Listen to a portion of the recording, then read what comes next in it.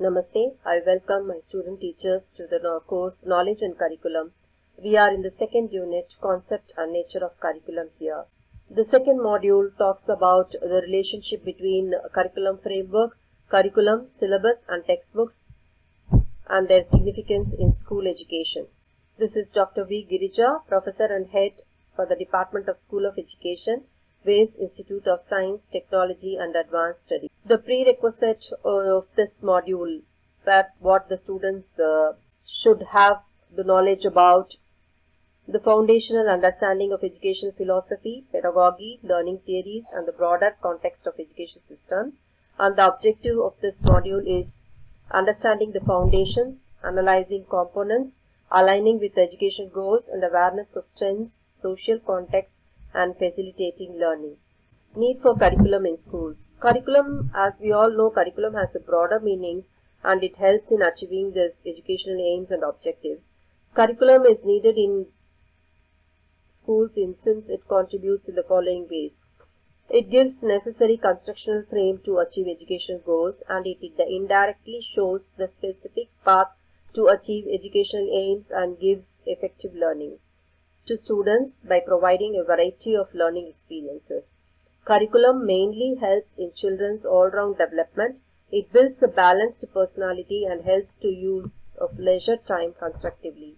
Curriculum coordinates the processes of learning, teaching, evaluation, and it develops creativity and forward outlook. It contributes to bring quality of equality of education.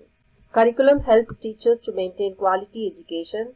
It sets standards, goals, and learning outcomes that enable the teachers to judge whether or not students are able to move on to the next level. An effective curriculum provides teachers, students, administrators, and community stakeholders with a measurable plan and structure of delivering quality education. It contributes to bring equality of education.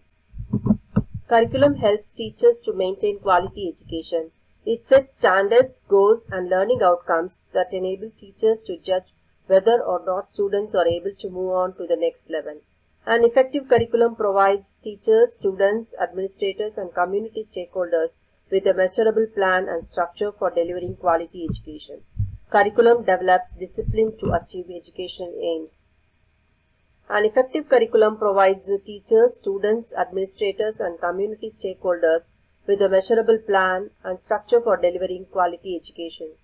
Curriculum develops discipline to achieve education aims. It makes education aims move in a right path through which de- develops discipline. It provides opportunity to students to participate in curricular and co-curricular activities and it helps to develop qualities such as friendship, cooperation, compassion, and also it, it contributes to bring equality of education. Curriculum helps mm-hmm. teachers to maintain quality education. It helps standards, goals, and learning outcomes that enable teachers to judge whether or not students are able to move on to the next level. A curriculum identifies learning outcomes, standards, and core competencies that students must demonstrate before advancing to the next level. An evidence-based curriculum acts as a roadmap for teachers and students to follow the path to academic success. It helps to understand the diverse culture, social system, and cultural heritage of people living in different parts of the country. A curriculum is needed in carrying successfully educational programs. The aspects in school knowledge. A school is one of the agencies which write down, transact, and transform knowledge and thereby influence the life of children who attend school for a specified number of years. School facilitates and distributes knowledge among its inmates. Though human individual gets knowledge from every experience in life, the knowledge that a child receives in school decides his or her future life and place in society knowledge. Since a teacher as professional deal as professional deal with knowledge, there is need to understand the concept of knowledge teaching, learning, timetable, examination, etc. lead to acquire knowledge through the curriculum. So, knowledge acquired through curriculum in school context is school knowledge. In school knowledge, learning happens when we connect new information to what we already know. With respect to school knowledge, students get experience in the classroom, process being taught in the school and classrooms, and knowledge is imparted through different subjects. Curriculum is the sum total of the school's efforts to influence learning whether in the classroom, on the playground or out of school. The real goal of education is learning to learn. Curriculum is taught in, in a school. It is a program of study. Curriculum refers to lessons and academic content taught in a school. Its goal is to improve the learning opportunities. The curriculum is a well planned, designed and guided by the Government of Education institution. It is aimed at both physical and mental development of a student. Curriculum can refer to the entire program provided by the classroom, school or state. A classroom is assigned, section, assigned sections of the curriculum as defined by the school. Curriculum includes the educational environment and program of study. It focuses on the body of knowledge, information that a teacher teaches and students are expected to learn in a given subject or content such as English, science, etc. Students learn facts, concepts and principles taught, learned in a specific course. A classroom curriculum is a sequence of activities jointly developed by teachers and students and parents and communities that reflects their understanding of the potential of a programmatic uh, curriculum. Curriculum works on all sections of the student's psyche and aids in the total development of the student. It provides a structured platform which gives every child an equal opportunity to excel. Curriculum provides formal experience in the classroom. It includes the experiences of the students and content and instructional methods. Here, school knowledge is the source of information. Knowledge and culture are organized and knowledge imparted through different subjects. Curriculum provides the basic knowledge that is tacit, explicit and contextual knowledge related to classroom subject to real life. School knowledge is based on textual knowledge and knowledge acquired here is incidental also. Reflection of school knowledge in the form of syllabus.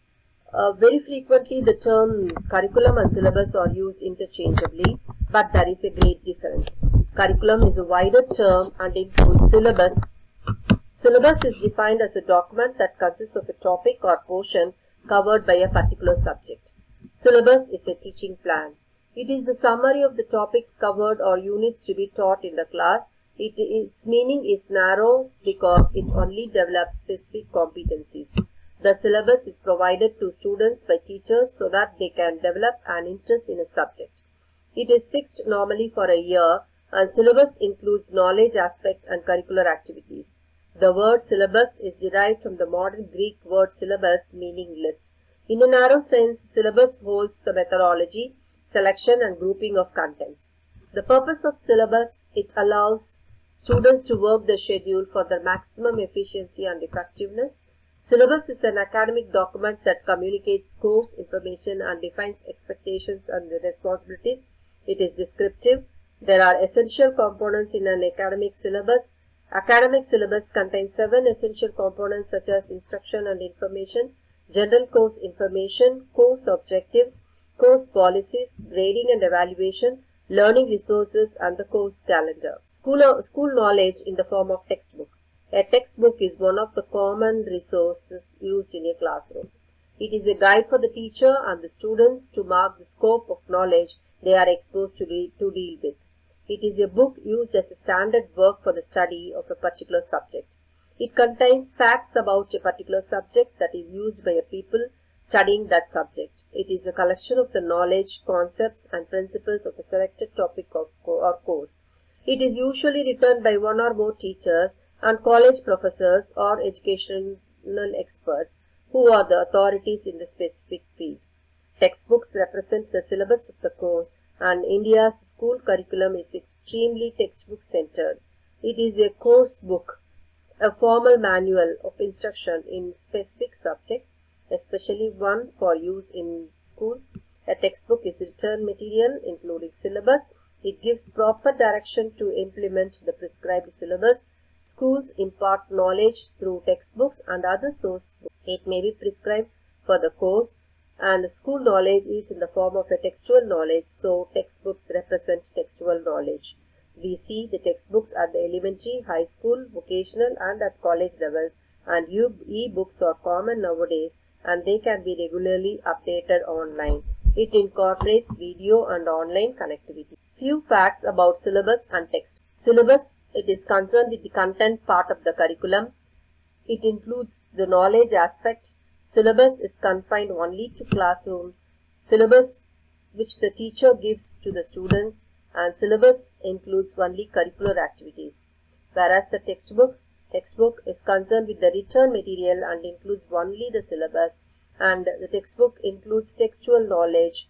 Classroom uh, work becomes more systematic with the textbook and it is an easily available resource for teachers as well as students and textbook provides direction to implement this implement syllabus. Curriculum framework. School is crucial in preparing children to become their future selves. School is an agency for socialization which build a network of friends and like-minded community teamwork.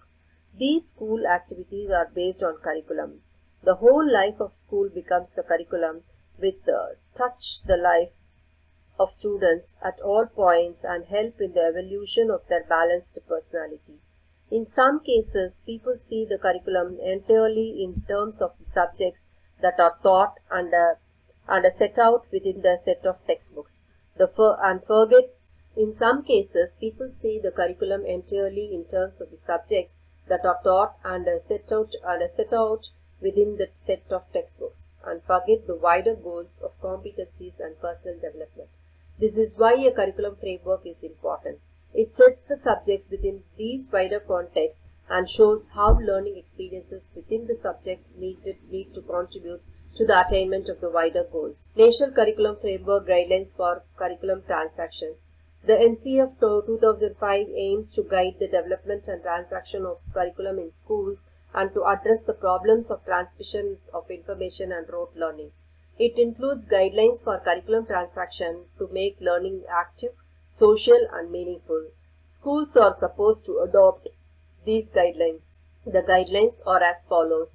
Connecting knowledge to life and outside the school, ensuring the learning shifts away from rote methods, enriching the curriculum so that it goes beyond textbooks, making examinations more flexible and integrating them with classroom life, and nurturing an overriding identity informed by caring concerns within the democratic policy of the country. The first guideline aims to contextualize learning and ensure that the content gets a broader perspective as it is linked to the life of the learners during the instructional process.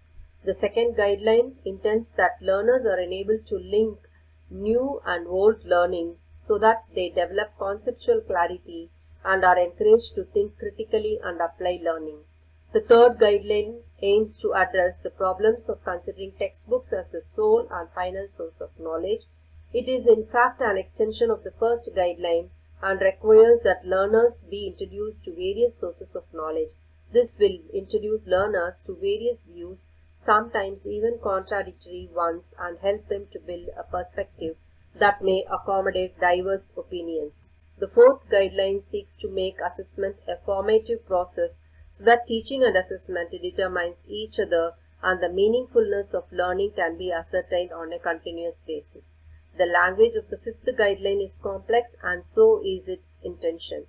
It underscores the need to raise awareness, nurture a sense of identity, and the ability for critical thinking on socio-political realities. It also intends that learners are helped in internalizing India's constitutional values of equality, justice, liberty and fraternity so that democracy does not remain only as a form of governance but becomes a way of life for them. Thus, while making learning an active process to be carried out through group activities, it seeks to impart, to tra impart training in citizenship for India and democratic polity. For implementing these guidelines, the NCF suggests pedagogies involving activities of various kinds like reading, discussion, sharing experiences and creating things and so on to be carried out collaboratively. In Indian schools, understanding has been bartered away for memory-based short-term information accumulation for examination using information-laden textbooks. The learning outcomes are also low. Therefore, the quality of education is a cause of concern However, the learning outcomes of open schools are overlooked and the use of information packaged as SLM for summative assessment is also accepted. These are the words given by the NCF in the year 2005.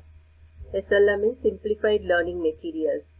Moreover, those educated by open schools also become part of workforce and many aspire, many may aspire to higher education. One of the mission statements of NIOS also says that efforts are ensuring equity in education do not end with providing success but also include deliberate measures worked out to ensure quality of education. To improve instructional processes, schools are supposed to implement the NCF that includes guidelines for curriculum transaction and the existing ground realities and curricular documents reveal that all the NCFs emphasize the concerns and issues but do not make a very clear connection between the concerns, aims and curricular contents. Plan starts from where the child is, enumerates all the aspects and dimensions of learning that are considered necessary, gives reasons why such and such learning is considered necessary, and what educational aims it would serve. This plan also defines stage-specific objectives, what content to, to teach and how to organize it. It also recommends general principles of teaching methods and evaluation and criteria for good teaching learning material. Justifications of the basis for making curriculum choices are very important. The key to understand the question of curriculum choice is to understand the relationship between the curriculum and the aims of education.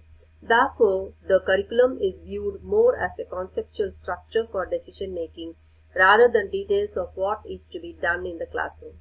The structure demands workable principles and criteria in most of the areas such as selection and organization of content ways of interacting with children and classroom organization and type of teaching learning material etc. What is perceived to be important is what forms of basis for the choices made in syllabus, pedagogical decisions, textbooks, etc. It is also suggested that a set of foundational assumptions a curriculum framework uses needs to be internally consistent, as clearly articulated as possible and acceptable to all stakeholders.